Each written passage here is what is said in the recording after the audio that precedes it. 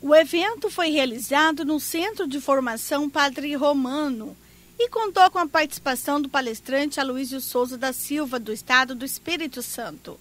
A sétima edição do Seminário de Educação do Campo tem como proposta falar sobre melhoria do ensino-aprendizagem. Qual é o objetivo dele? Trazer uma educação contextualizada ao campo, é, valorizar o, o aluno no seu contexto natural gerar o sentimento de pertencimento ao campo.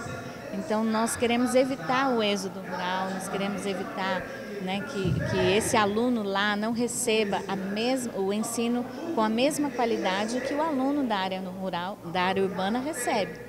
Então, todo esse projeto ele vem sendo implantado desde 2013. Iniciamos com quatro instituições de ensino, são nove na área rural. Hoje nós temos sete com o projeto já implantado em, em implementação. O Seminário de Educação do Campo já faz parte do calendário anual de atividades do Estado, sendo promovido pela Prefeitura de Chiparaná por meio da Secretaria Municipal de Educação. Durante o seminário, foram abordados vários temas, como os desafios, perspectivas e importância de se construir um currículo que atenda os alunos que moram na área rural, a exemplo do Educampo, projeto criado pela CEMED que visa inserir nas escolas rurais uma metodologia própria voltada à educação do campo. Hoje, o aluno do campo ele vai valorizar o seu contexto, ele vai atrás de pequenas empresas que estão sendo né, pequenas culturas que estão sendo ali no seu contexto trabalhado, ele vai conhecer, ele vai perceber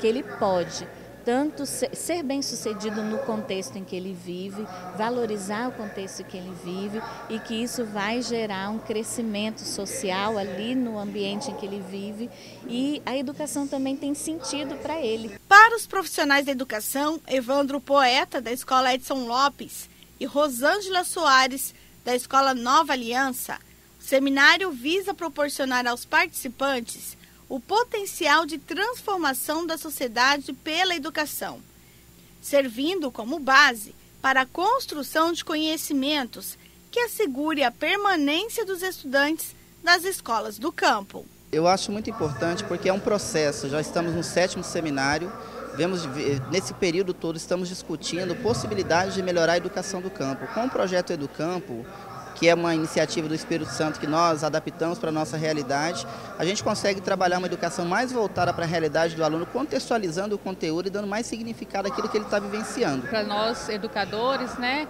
do campo, trabalhar com esses alunos, é, ensinar para eles a valorização do homem do campo, que é possível sim eles estudarem lá na escola, perto das suas casas, valorizando suas propriedades, suas famílias. Então, assim, é um desafio muito grande.